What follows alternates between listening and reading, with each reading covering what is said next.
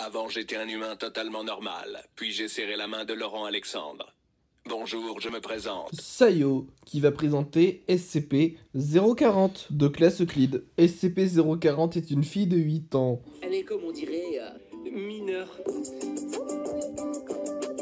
Elle possède quelques anomalies physiques. En commençant par le fait qu'elle est sensible un petit peu à la lumière et qu'elle est également très sensible au contact. Elle possède également des cheveux rose vifs qui sont tout aussi fragiles. Et également l'un de ses yeux qui est un iris jaune-vert avec non pas du blanc comme tout le monde a, mais du noir. Si, si, je te rassure, il y a un problème. On appelle ça une hétérocomia. Et d'ailleurs, le sujet est un peu plus intelligent que la normale. SCP-040 est capable de manipuler la matière vivante et de la faire muter. Bon, certes, là, ça devient assez dégueulasse, mais il y a l'idée. En vrai, non, c'est pas trop dégueulasse. Et en plus, les créatures encycrées sont sympas et ont une loyauté envers 040. Ça passe, non? Iam mortus est. Quid Également, SCP-040 est incapable de faire muter des êtres microscopiques et a beaucoup de difficultés avec les plantes.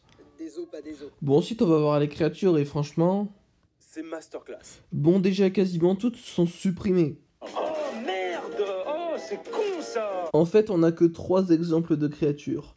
Alors, SCP-040-A est un organisme symbiotique polymorphe capable de changer de taille, forme, couleur avec son environnement. Il est utilisé comme pull par 040 et serait avant un chat. Je n'ai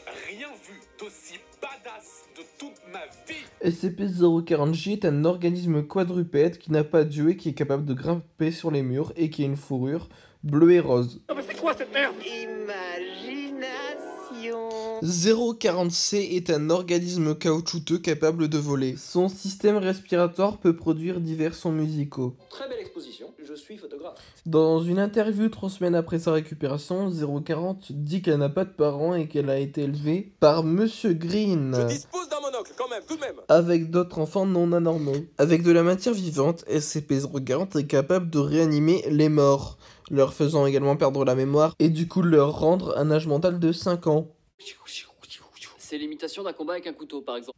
040 a été traumatisé par cette expérience et n'a pas voulu faire de test pendant 3 semaines. Bon bah voilà, c'est la fin de cette présentation de SCP, bye. Si vous aussi vous êtes astigmate, n'hésitez pas à consulter un ophtalmologiste dans votre région.